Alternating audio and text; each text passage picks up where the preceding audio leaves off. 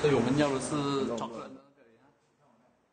A car washer was sentenced to death by hanging by the Johor Bahru High Court today after he was found guilty of trafficking in drugs into the country two years ago.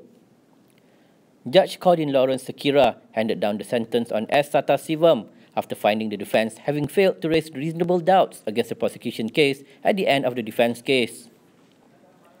Sata Sivam was charged under Section 339B1A of the Dangerous Drugs Act with trafficking in 99.16 gram of methamphetamine in a room on the upper floor of a coffee shop at Jalan Meldrum in Johor Bahru at about 7.40 p.m. on September 9, 2016.